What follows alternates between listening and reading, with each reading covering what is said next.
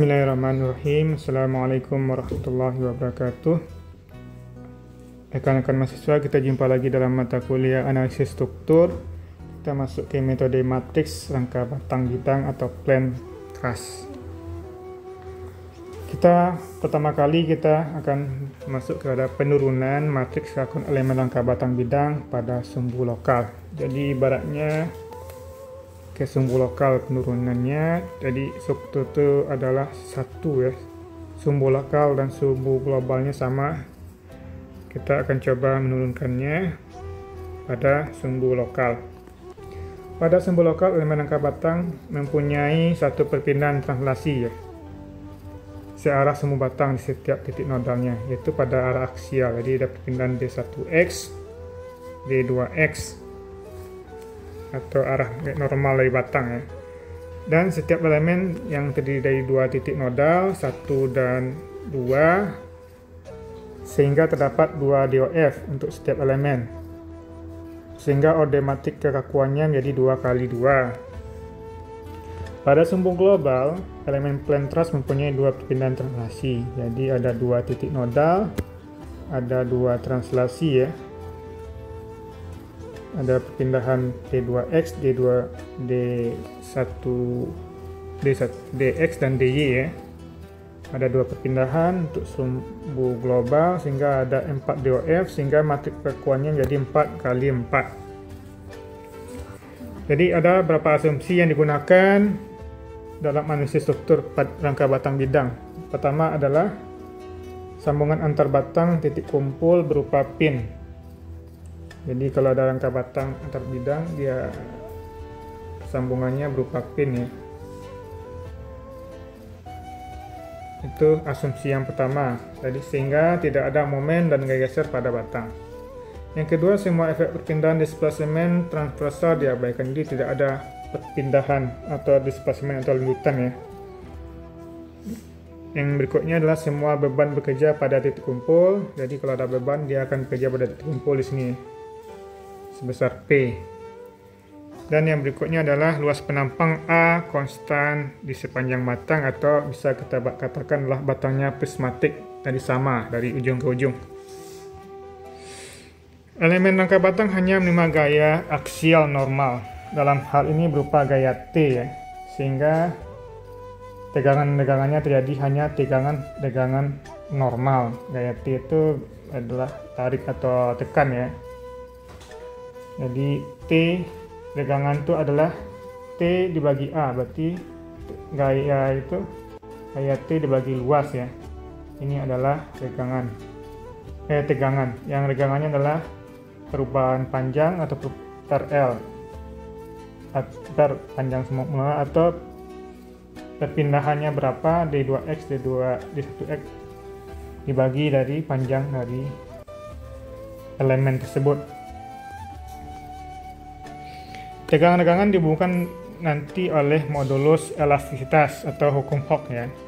Nanti uh, tegangan itu adalah sama dengan modulus elastisitas kali regangan. Sehingga T T per A ini adalah tegangan ya, tegangan ya. Modulus ini E ini adalah regangan. Jadi tegangan sama dengan E kali regangan. Atau T eh, kita pindahkan di A nya ke sini. Berarti T adalah sama dengan E kali A per L L nya kita pindahkan sini. Dikali D2X D1X nya sehingga nanti bisa kita sederhanakan. Karena T sama dengan K kali D ya.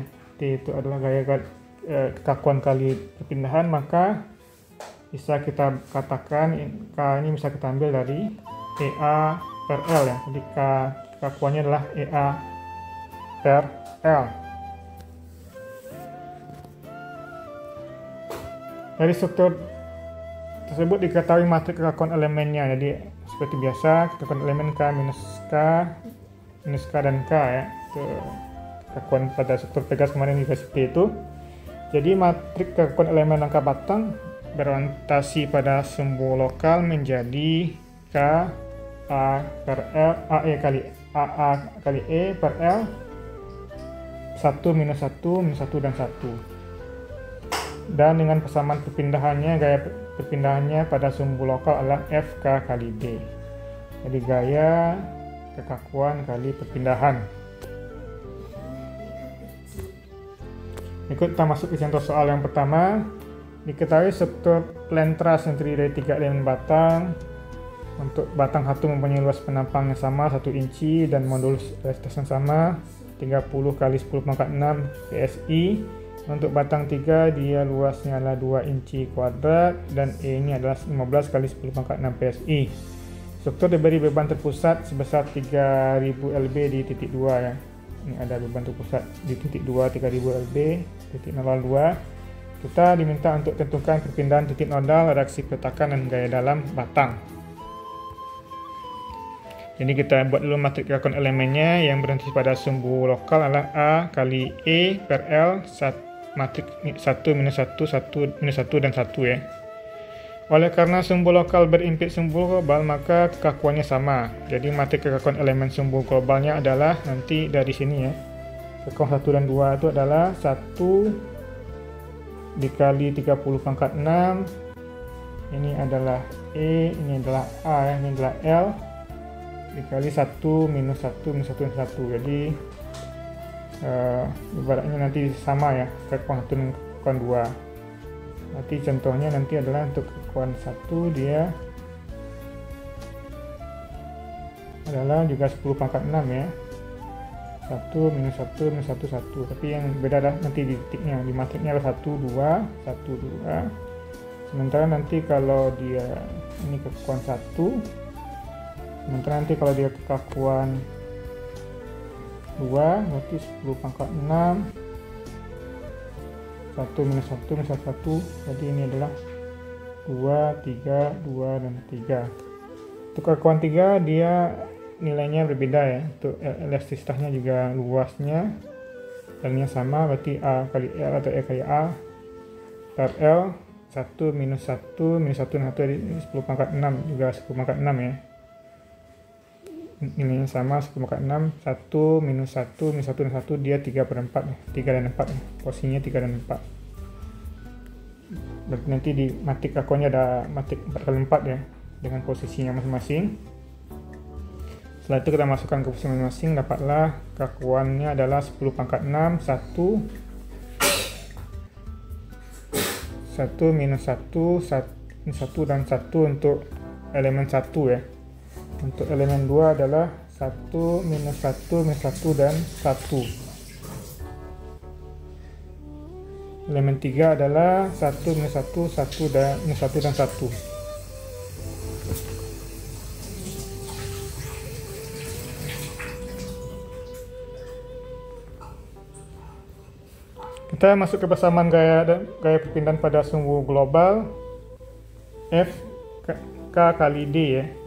berarti ini F nya 10 pangkat 6 eh, kekuatan globalnya tadi ya. Dari sini telah kita hitung. Dan ini adalah D. F K kali D ya ini adalah K. Dan ini adalah D nya kita masuk ke persamaan gaya perpindahan pada sumbu global. Dan kita substitusi kondisi batas atau boundary condition di titik 1 dan 4 karena 1 dan 4 itu ada dia jepit berarti D1X nya sama dengan 0 dan 4X nya sama dengan 0 sehingga yang yang berhubungan dengan 1 dan 4 kita hapus sementara dulu ya. Matriksnya kita hapus sementara kita mau mencari D2X D3X dulu ya. Jadi sehingga 3000 0 untuk F nya ini tinggal F2X ya 3x jadi tinggal 2 dan 3 ya. 2 dan 3 jadi setelah itu baru kita bisa menghitung D2X D3X dan dari hasil perhitungan D2X nya adalah 0,002 inci perpindahannya D3X perpindahannya adalah 0,001 inci. Dan dari perpindahan itu kita kembali ke matriks kekakuan secara umum ya. Jadi kita dapat tadi bukan secara umum berarti kita kembali ke yang tadi ya. F K D. Karena D-nya jadi F1X, F2X, F3X, F4X ini kekakuan dengan matik kekakuan tadi ya. D1X, D2X, D3X, D4X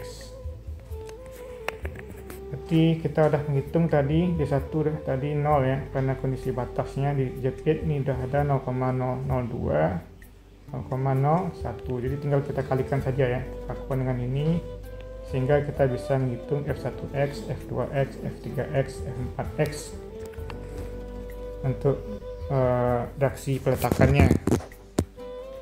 Dan untuk uh, gaya dalamnya kita kembali lagi ke elemen kekakuan masing-masing tadi. Misalnya tadi di kekakuan 1 adalah 10 pangkat 6 ya. 1 minus 1 1 dan 1 berarti kita kembali ke F1 ini gaya dalamnya F nya kecil ya. F2X untuk elemen 1 kali kekakuan dan kali D1X D2X untuk perpindahannya sama ya dengan yang secara global 0 dan di sini 0,002 sehingga nanti kita bisa menghitung gaya dalamnya berapa F1X dan F2X-nya berapa. Oke, itu contoh soal yang pertama.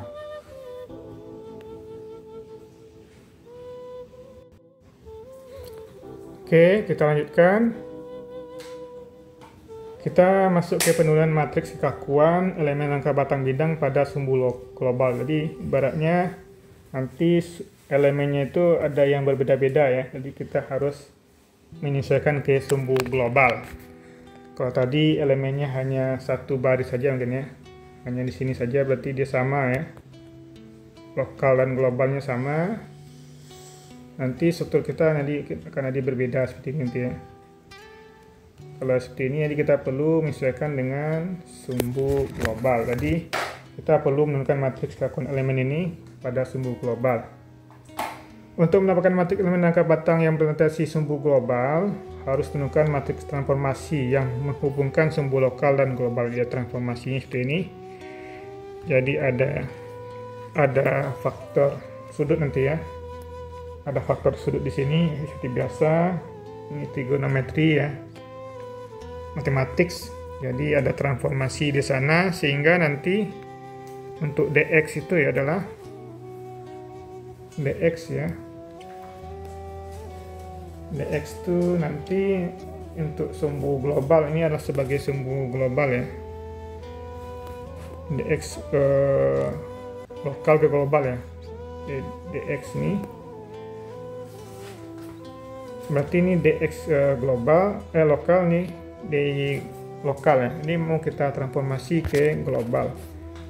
Berarti dx yang kita dapatkan di sini ini lokal ya.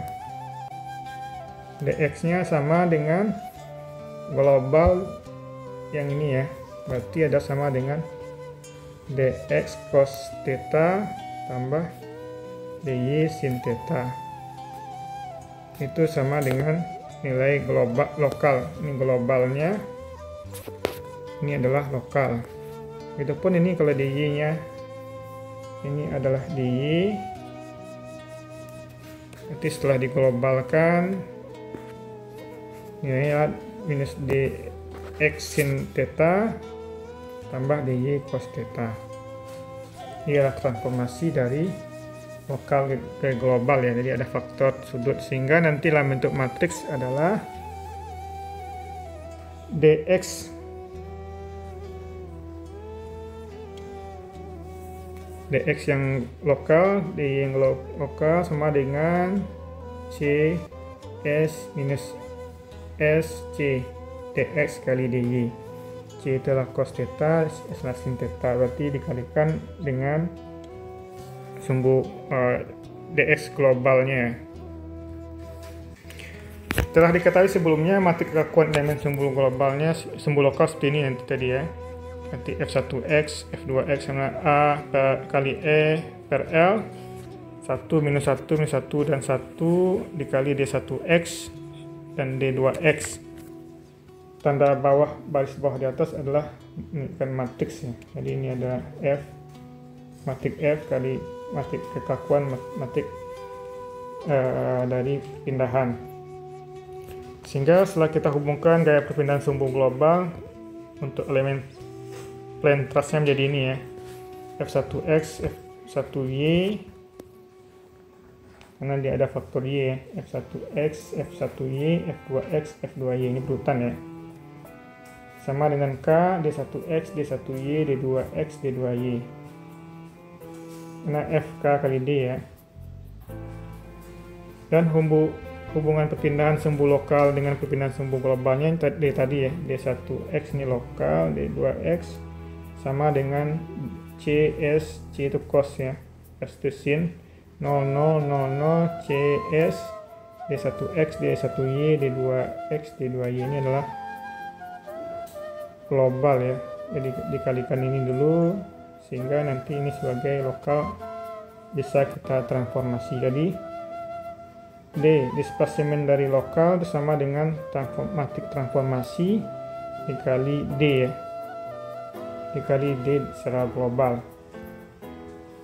Mana matik transformasi tadi? Adalah CS 0000 CS ya. Jadi similar dengan perpindahan sama dengan perpindahan hubungan gaya sumbu lokal dan global jadi dia juga seperti itu. Jadi gaya untuk sumbu lokalnya ini sama dengan kekalian transformasi ya. Ini transformasi ya. Untuk transformasi CS 00 00 CS dikali F1X, F1Y, F2X, F2Y ini adalah global. Ini adalah lokal. Jadi lokal itu dikali transformasi dari global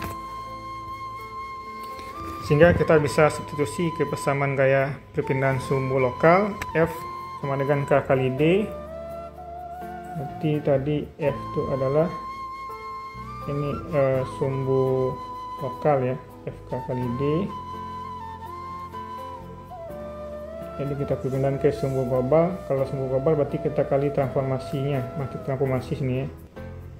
Ini transformasi juga. Nanti ada transformasi di dua tempat sehingga dia bisa kita substitusikan ke global jadi matrik transformasi dari 2 kali 4 harus dikembangkan jadi matrik transformasi 4 kali 4 sehingga uh, menjadi ini ya awalnya 2 kali 4 tadi kita transformasi jadi 2 kali 4 menjadi matriksnya ini ya. Jadi D1X yang D1Y D2X D2Y yang adalah dari lokal sama dengan transformasi ini ya CS 00 minus CS 00 00 CS 00 C, minus SC dikali D1X, D1Y, D2X, D2Y untuk yang global di mana transformasinya ini untuk transformasinya artinya adalah ini CS 00 minus SC 00 00 CS 00 minus SC itu adalah matriks transformasi yang dikembangkan dari 2 kali 4 jadi 4 kali 4 sehingga D sama dengan transformasi dari D jadi D perpindahan dari lokal sama dengan transformasi dikali pindahan global. Similar dengan perpindahan hubungan gaya sumbu lokal dan global dengan menggunakan matriks transformasi telah dikembangkan adalah F T kali F ya sama juga tadi. Jadi F nya ini ini F lokal adalah transformasi dari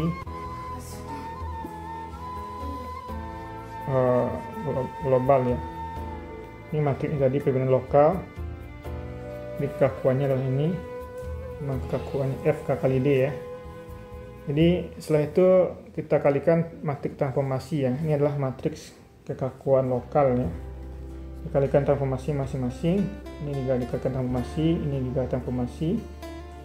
Sehingga F adalah T inverse K, K, K kali T transformasi kali D. Itu untuk gaya secara global ya.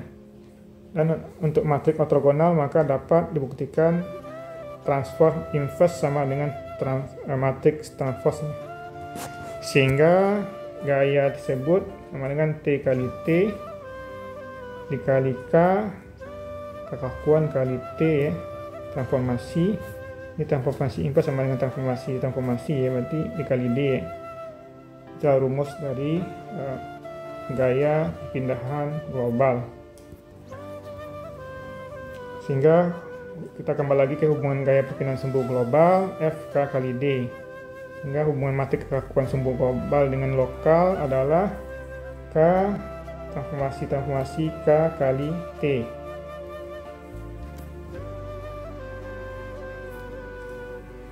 Kita substitusikan nilai T dan K akan menghasilkan matrik kekuatan elemen sumbu global. Jadi kita substitusi ya. Inilah hasilnya kekakuan yang baru. Ini adalah matrik kekakuan hasil transformasi lokal global. A kali E per L C kuadrat CS minus C minus CS S kuadrat minus C kali S minus S kuadrat C kuadrat CS S kuadrat C telah cos theta, S telah sin theta ya. Jadi kalau CS berarti cos theta dikali sin theta. Ini simetri, ini sama ya. Ini kuat. Ini kita masuk ke contoh soal. Suatu struktur rangka batang bidang mempunyai penurunan di titik 1 sebesar 50 mm. Jadi pindahan ya. Titik satunya penurunan 50 mm.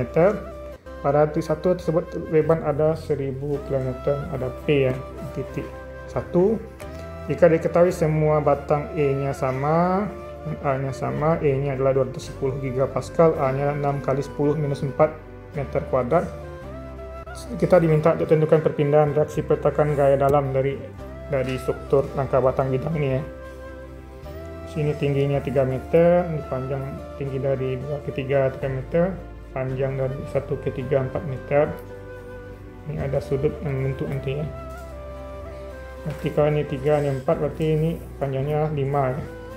5 meter, ini kita gora saja ya. 5 meter sehingga sudutnya juga bisa kita cari nanti.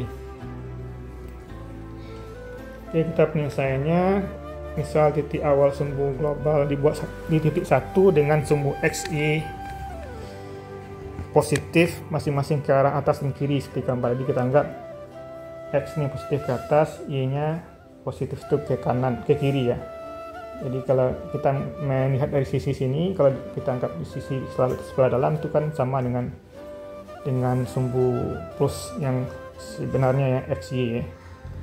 Jadi matrik akun elemennya tadi telah kita kita hasilkan dari penurunan tadi adalah K adalah A kali E per L.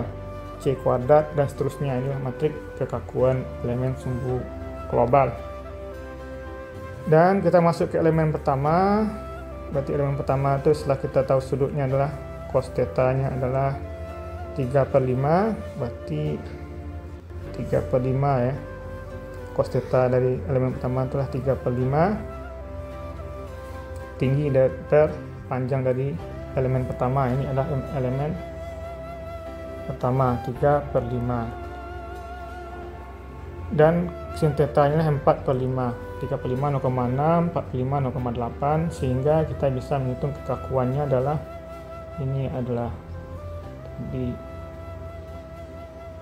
ini elastisitas ya terbalik. Ini A ini L nya panjangnya ini 5 meter ya panjang pertama 5 meter sehingga nanti bisa kita cari ya. Ini C kuadrat dan seterusnya. Ini C kali S ini minus C kuadrat minus CS sehingga kita bisa menghitung matriksnya. Dan kita kalikan nanti ya. Dan hasilnya adalah K1 25200 0,36 0,48 minus 0,36 minus 0,48 0,64 minus 0,48 dan seterusnya. Ini simetri ya. Di hasilnya ini adalah 0,48 ya. Simetri dengan ini ya. Ini adalah minus 0,36 simetri dengan ini. Jadi itu untuk kekakuan yang pertama. Untuk kekakuan yang kedua sama cos nya kita karena dia sumbunya sudutnya elemen 2 itu tidak ada sudut ya berarti 0 adalah cos 90 ya. Eh cos 90 berarti ini 90. Jadi cos 90 adalah 0 dan sin 90 adalah 1 ya. Inilah sudut yang dibentuk tetanya ya. Inilah teta. Sehingga kekakuannya adalah tadi ini adalah E ini A per L ya. L nya panjangnya 4 meter. Jadi kita kalikan nih C kuadrat cos 0 0, 0, 0 kuadrat 0 ya. Ini C kali S juga 0 C, ini C kuadrat juga 0 CS juga 0 ya. Berarti yang yang bisa adanya ada, ada di sini ya. Ada yang S nya saja berarti dia 1 minus 1 dan 1 ini simetri ya. Simetri. Sehingga kekakuannya lah 25200 0 0 0 0 ya. Minus 1,25 0 minus 1 1,25 0 minus 1,5 0 0 dan 1,25 ini simetri ya dan itu kita dapatkan kekakuan 1 dan kekakuan 2 tadi ya. Setelah kita dapatkan dengan 2 kita masukkan ya karena tadi sudah ada nilainya. Ini adalah D1X, D1Y, D3X, D3Y karena ini ada 1 dan 3 ya. Berarti ada 1X, 1Y, D3X, D3Y itu pun tadi di elemen pertama yang pertama adalah 1 dan 2 berarti D1X, D1Y, D2X, D2Y jadi kekakuannya kita gabungkan. Jadi inilah kekakuan setelah kita gabungkan ya. TD 1 ini satu ya. Ini satu. Untuk D2X posisinya ya eh D1Y D2X D2Y D3X D4Y ini posisi saja bukan nilainya ya. Sehingga nanti kita bisa menempatkan posisinya di 1x, di 1y, di 2x, di 2y, di 3x, dan di 3y dari matriks tadi ya setelah kita gabungkan. Ini juga simetri. Jadi gaya perpindahannya lah F K kali D ya jadi kita substitusikan dengan syarat batas D1X adalah minus 50 karena ada perpindahannya sebesar X nya adalah ini dianggap X ya. Ini 50 oh berarti tadi bukan kebalikannya berarti x itu di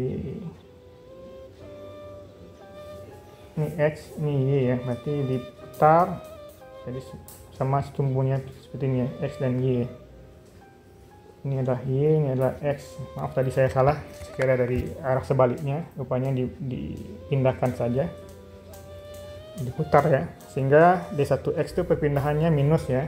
Minusnya minus 50 D2X dia 0 2 itu adalah dia jepit berarti perbandingannya 0 D2Y juga 0 jepit berarti ada dua perbedaan X dan Y nya 0 ya D3X dan D3Y adalah 0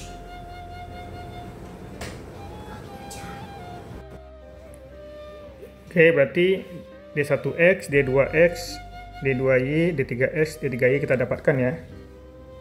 Karena kita tahu dua dan tiga ini J, jepit berarti perpindahan dx ini kita nggak dx ini dx ya. Sesuai x nih ya. perpindahannya adalah 0 ya.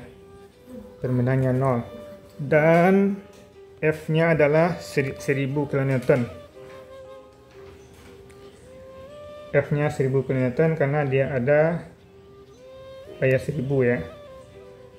Ada gaya 1000 di F1Y searah Y ya. Ini arah Y.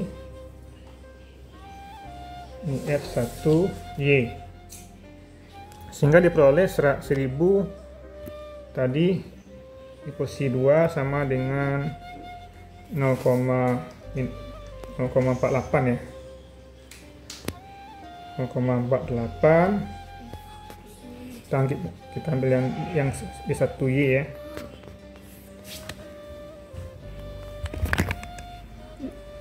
delapan dikali 0,05 ya. 0,05 itu apa tadi? Adalah perpindahannya ya 0,48 dikali 0,05 tambah 1,89 kali D1Y jadi 1000 tadi ya adalah 0,48 D1Y bisa 0,189 D1Y itu dari matriks ini tadi ya. Matriks ini dikali minus 0,05 meter. Ini jadikan meter jadi D1Y itu adalah inilah perpindahannya ya. Pindahan itu adalah D1X kali 1,89 1,89 adalah ini. Dikali D1Y tambah D1Y artinya adalah kita bisa menghitung nilai D1Y ya. D1Y adalah 0,0337 dari matriks ini ya. Ini poin-poinnya tadi kita perkaliannya dan kita peroleh D1Y. Tanda positif menunjukkan arah perpindahan ke kiri sesuai dengan sumbu Y positif. Jadi reaksi peletakannya tadi adalah FK kali D ya. Dan FK kali D, FK kali transformasi kali D, di mana D itu adalah T D.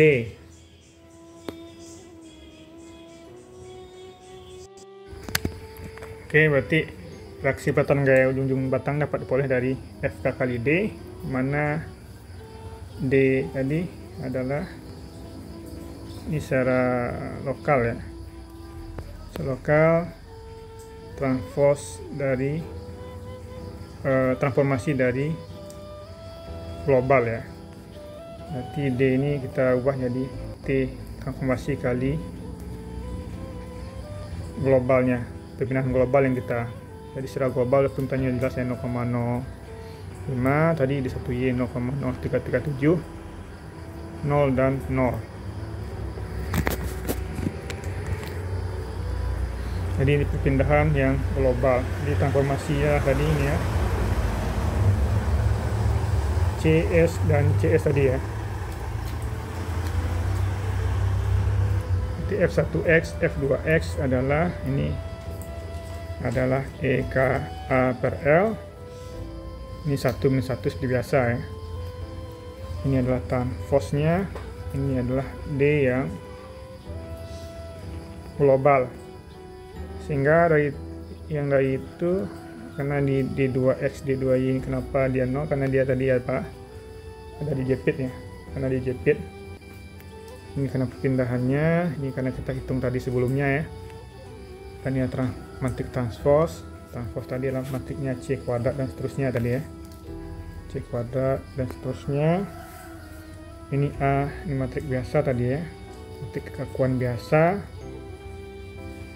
EA E kali A per L ya 1 min 1 dan 1 dan sehingga kita dapat gaya untuk elemen 1X dan F2X adalah F1 nya adalah minus 7,76,6 dan F2X adalah 76,6 itu elemen ke elemen pertama ya.